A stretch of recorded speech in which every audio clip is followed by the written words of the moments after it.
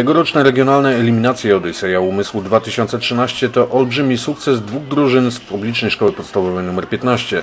To te same drużyny wywalczyły awans do finału w Gdańsku co w zeszłym roku. To także wielki sukces trenerki obu drużyn Marty Urych. Niemożliwe stało się możliwe.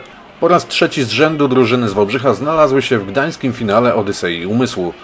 Walka w eliminacjach we Wrocławiu była bardzo trudna i wyczerpująca, bo w tym roku w eliminacjach wzięło udział najwięcej drużyn w historii. Do stolicy Dolnego Śląska pojechały trzy drużyny z Wałbrzycha, wszystkie z PSP 15.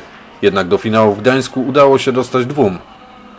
Pięć problemów do rozwiązania, z którymi zmagało się aż 86 drużyn, zatem rywalizacja i konkurencja była ogromna. Tym bardziej większy sukces odnotowały dwie wałbrzyskie drużyny. Zespoły uczniów z PSP 15 w tym roku wybrały problem numer 5, czyli zawiłość i normalność.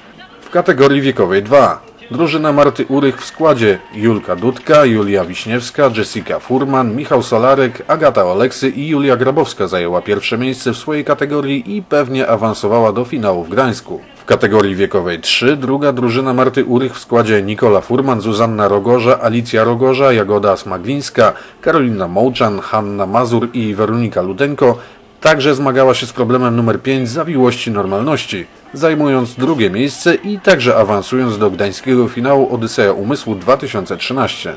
Trzeci zespół również absolwentów PSP 15 prowadzony przez Katarzynę Sołtysiak zajął czwarte miejsce.